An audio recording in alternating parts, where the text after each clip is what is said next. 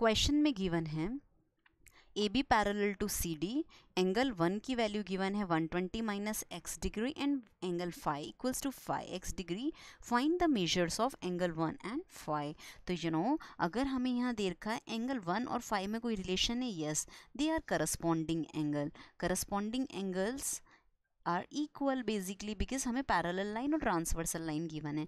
Means 120 twenty minus x equals to five x given है।